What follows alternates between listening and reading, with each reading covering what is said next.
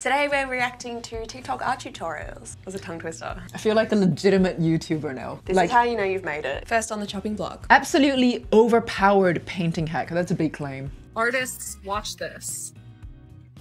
That's right. This gray, when pulled out of context, becomes this muted orange color here. This is why color swatching a reference image digitally is a fantastic way to hijack the color mixing system. She's not wrong. Like that viral dress that was Oh, like, the blue gold. yeah, is it gold and white or is it blue and black? yeah. Yeah. I think this is where people who come from traditional art backgrounds have a great advantage because they're used to mixing the exact color they need. Yeah. Whereas people like us who do a lot more digital, we, we kind of have the flexibility. Like we can paint everything according to local color and then just like put on an overlay and change all the colors. Yeah, here. that's what I do. So like this wouldn't Yeah. Mm. help me at all with digital art. But if I did want to try traditional art and I have Yeah. Mm. to mix every single color that I use, I think this is A really good tip. Oh yeah, I have so much respect for like traditional painters and they get they can mix like a gajillion colors and get the exact shade. Yeah, like if they're mixing like a green, they'll put a little bit of like magenta or like some other random color that makes no sense, but Yeah. like that's how they get to the color. Like, Yeah, I feel like if I wanted to get really good at color theory and stuff, I should just like stop digital, go purely traditional for like six months.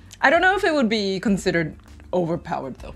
yeah, maybe maybe it'll help you like get a new perspective on art and color, Mm. but I don't think it would actually help you learn color theory better and learn how to best use your colors. If you're just starting out and you've never really thought about the relativity of color and value, my mind was blown the first time I, I realized that. Yeah. Yeah. or it's like if you've got like a grey circle on an orange background, it will look blue because the Mm. Yeah. orange is like the opposite color. Yeah. But if you put that same grey circle on a blue background, it'll Yeah. look orange. You know. Yeah, exactly. The lesson is that all color is a lie. Do we do we stop at color? Everything's Colour, a lie. Everything's a lie. Everything that you see is a lie. Don't ever color pick your reference. By color picking, you rob yourself from the trial and error, the learning and understanding of how color works.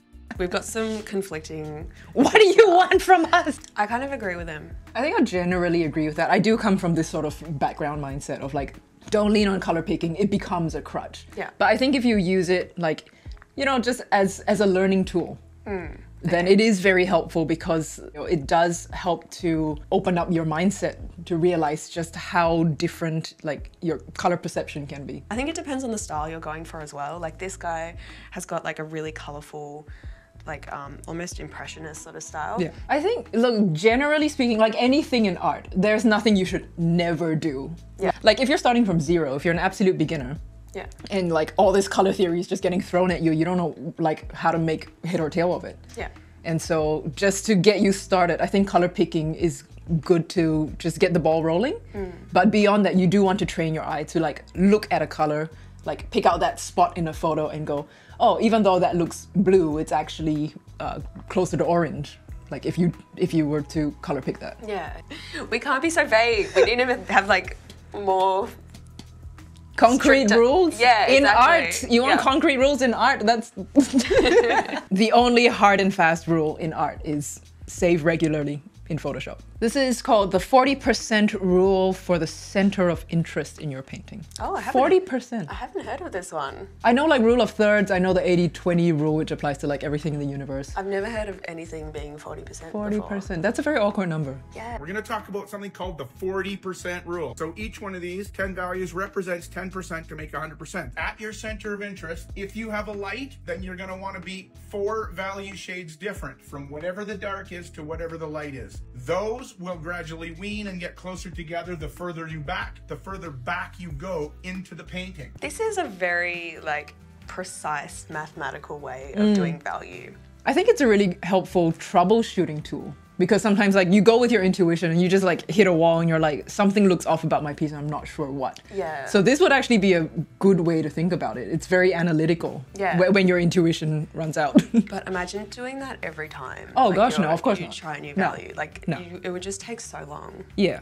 And I think what, what he's saying here, like for maybe um, more beginner artists who aren't quite clear on what he's saying, it's basically that to draw attention to the focal point of your painting, you need higher contrast, and that means so bigger differences in your values, so your darks and lights, bigger differences in your saturation and in your hue variation as well. Contrast always attracts the eye, whereas things that are a bit more muted, blurred out, um, your eye isn't comfortable resting on those spots which is why you want things at the edges of your piece to have less contrast. Yeah. If you're painting a piece and you're feeling like, oh, the values are just weird for some reason, then just check whether you've got too little or too much contrast and whether your too little or too much is in like your focal point or in the like the edges of your painting where you don't want the eye to focus. Use this rule 40% of the time. like with digital, we've got so much more flexibility and it's so much more forgiving that we can afford to mess around with our values. Because you can always, you know,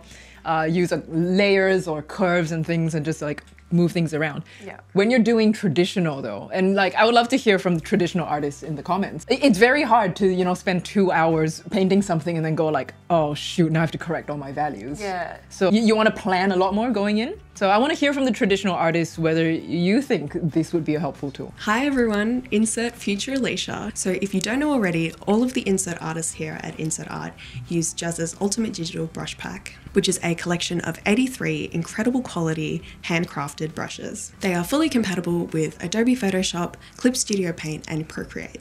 And it really comes with everything you need, including pencil brushes, ink brushes, oils, watercolors, special effects, things like rain and foliage and rocks and mountains, spatters, all kinds of textures, everything that you need to get started on your digital art journey. And all of the brushes are handcrafted by myself and Jazza. Now, if you've already got the brushes or you're looking for something a little bit more advanced, we also have a digital painting handbook, which is a 100 page deep dive into myself and Jazza's painting process. So if you want to learn how to paint or draw like myself or Jazza, then check out the handbook as well. You can get a discount using the code INSERTBRUSHES, so check out the link in the description below. Use a hairdryer to remove masking tape. Prevents ripping the paper. Oh my god, that looks like such a good tip. I hate masking tape. I've tried doing it with like watercolors and I always like rip a bit of the paper off as well. like I don't know how people do it. Use conditioner to reshape brushes. My toxic trait is that I always leave brushes in the water and Like then I take them out and they're like bent. oh my god, I have to try This makes so much sense. Brushes are hair, conditioner is for hair. Oh my god, I'm trying this as soon as I get home. This is so cool. Your brushes will be like, ugh, I'm gonna like shampoo them and conditioner them and like give them a little hair mask. and a like- haircut. Tape. Always photocopy your sketch for a backup. You'll have another in case you mess up. I don't know if I agree with that one. Like I, I always do it. I always take a photo of my sketch just in case I mess up. But I don't think that we should because I feel like it trains you to be super precious about your art. Yeah. And then true. like if something needs to be fixed or if something isn't quite right, Mm. like you'll just leave it as it is and you won't actually learn. I think it's actually more beneficial to like do a sketch, mess it up, and then have to sketch it again. Yeah, you learn better when you have no safety net. Um, that was a solid eight out of ten, I reckon. If you're just starting out, I think it's better to make 100 30 second sketches than it is to spend even more time on just one picture. By doing this for one hour a day, you'll have 100 chances to calibrate your sense of proportion and the nuances of the human form. Could not agree more. They taught me this in uni as well, like when we were doing life drawing.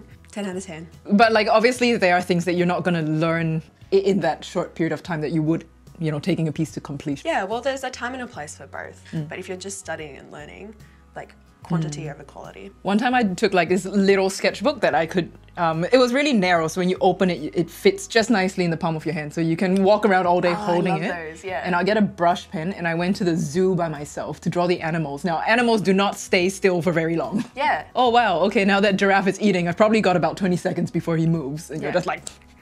The, the mindset that you have going into an exercise like this is very, very important. Yeah. Because if you try and rush it and try and capture everything in 30 seconds, um, you're not learning the way this is meant to. Yeah, like you're not going to spend as much time observing what you're seeing. You're just going to draw what you think you see, Yeah. and then it's going to be wrong.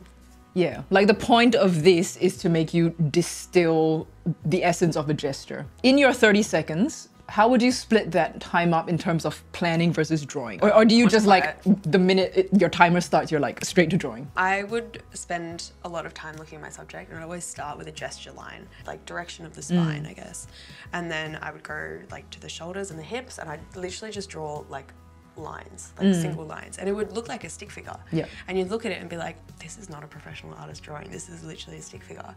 Mm. And if I chose to continue drawing, and if I chose to spend 60 minutes on Yeah. it, then the fun, like the foundation is there, and the foundation is really good because mm. I spent the time looking at it, analyzing, and then drawing rather than just like chicken scratching. a lot of beginners who might try this exercise would just feel so intimidated by the time limit. The way to go about this is to have the right objective in mind and realize like what this exercise is trying to teach you and that it's not about making the prettiest sketch. It's just about training your eye to to see the gesture underlying um, like a fully fleshed out human figure. Yeah, this is a gesture exercise. It's not a rendering exercise. It's not a value exercise. It's not a color exercise. It's just gesture. And then once you've done these stick figures, then you can move on to form and start blocking out like the shape of the pelvis and the shape of the ribs and stuff like that. And then you can move on to like value and rendering and all of that stuff. And you can customize this exercise to focus on whatever you need to learn at that time. Yeah. The 30 seconds just makes your mind like have to hyper focus on that one aspect of learning. Yeah. 10 out of 10, Kevin. Nailed it.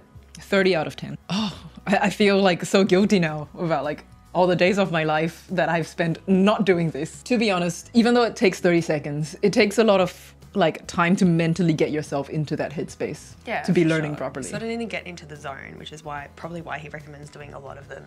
Like you don't have to commit to much. You Yeah, can be like, true. if I just do one today, then that'll Mm. that'll be something, you know. Then I'll be better than yesterday. Yeah. Yeah, you're, you're, you're, even if you just do that one, you're that one drawing better than you were yesterday. Yeah, exactly. I thought for the most part they were pretty good. I, I, I'm too old for like TikTok, Yeah. but I do like these like snappy quick tips. Let us know what you think are the best and worst um, tutorials or tips on TikTok or on Shorts or just in general. Let us know in the comments. Or you can join our Discord, and if you link us videos to react to, then we'll collect them and we'll do a whole nother video reacting to the videos that you sent us. Um, as much as I enjoy, you know, the rapid fire, like quick tips and stuff, and you know, I enjoy making art, obviously. As an analytical person, I like getting into like a bit more of the contentious discussion around some of these concepts and these art rules. Yeah. The thing with TikTok is it's like very short form, so you don't Yeah. get a lot of that depth. If you would like a bit more of that depth, um, please consider joining our Patreon. The link is in the description. You join one of our Patreon tiers, then you'll have access to our own personal tips and tutorials, where we go into far more depth um, about our processes and our ideas. It's not just creating art, it's not just having fun on camera. It's actually where we have those like personal um, engagements. You guys ask really good questions, and sometimes we're here like kind of like figuring out these issues together. I, I really enjoy that. And our top tier on Patreon gets our masterclasses, where myself and Ariel we give you like personalized advice and feedback, and you get to submit your artworks to us. And already we see like people like applying our feedback, and we get so much positive feedback about our tutorials. Yeah, and I think there's a way you can grow as an artist when you're not just getting like the standard information and standard um, tutorials out there. It's when you have wrestled with a piece and you've come up with like a specific question and then you bring that and then like as a group we can discuss it. Like there's a level of learning there that you can't get anywhere else. Thank you, see you in the next video. Bye. Insert out.